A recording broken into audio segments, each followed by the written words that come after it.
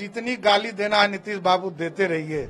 ये मुरेटा इसलिए मैं बाना हूँ कि नीतीश कुमार जी आपको सत्ता से बाहर करना है। यहाँ तक जातीय जनगणना, जातीय सर्वे का मामला है। जातीय सर्वे में नीतीश कुमार जी का कोई मैकेनिज्म ही नहीं है। अरे, हम लोगों ने तो समर्थन इसलिए किया था कि बिहार की जनता को इसका विकास की किरण दिखाई दे और गाँव तक विकास पहुँच सके।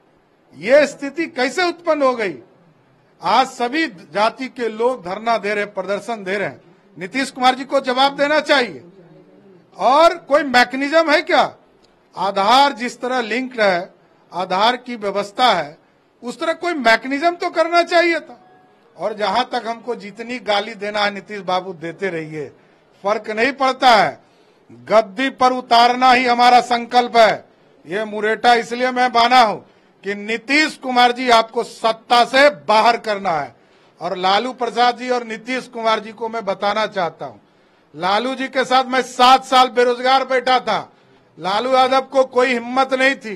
वो ताकत की पूजा होती है। और आज मैंने बार बार कहा है, अरे मैं कोई चोर का बेटा नहीं हूँ।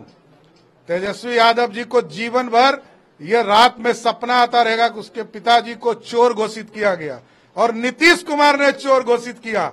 और तेजस्वी यादव और उनके परिवार को शर्म नहीं आ रही है। किसके साथ सत्ता में बैठा है? जिसने उनको चोर घोषित किया और चोर घोषित करके जेल में बंद करवाया।